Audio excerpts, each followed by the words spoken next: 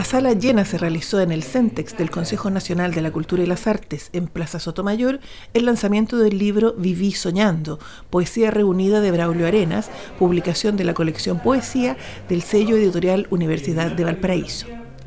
La presentación estuvo a cargo del director de la editorial Christian Banken y el editor general del sello Ernesto Pfeiffer.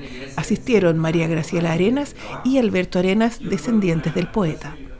Esta es una edición muy eh, emotiva porque es un libro que reúne eh, gran parte de la poesía publicada de Braulio Arenas.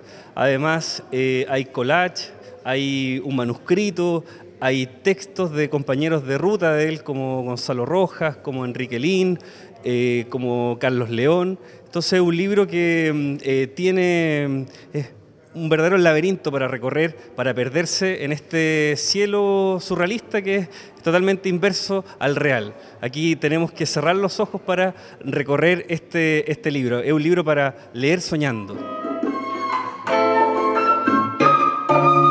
El evento contó con la participación de la Pedro Band, que interpretó bellamente poemas musicalizados. Respecto de si es necesario conocer la obra de Braulio Arenas para leer este libro, Pfeiffer señala. Este es un libro para alguien que no conoce nada de Braulio Arenas, es un recorrido cronológico por todos sus libros y, lo puede leer cualquiera. Sobre todo las imágenes, como por ejemplo, cada gota de agua lleva en sí su desierto.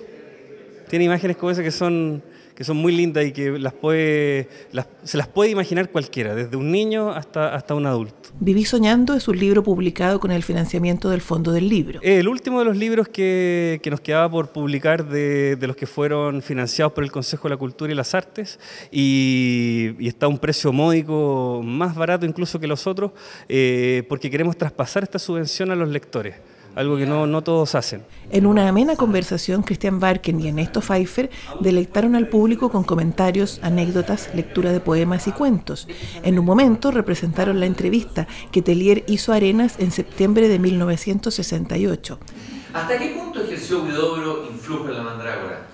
Para nosotros, Huidobro fue un excelente poeta y un gran amigo, sin embargo, nuestras diferencias eran extremas. La actividad revisó hitos de la poesía chilena, el surrealismo, la mandrágora e historias de poetas y escritores.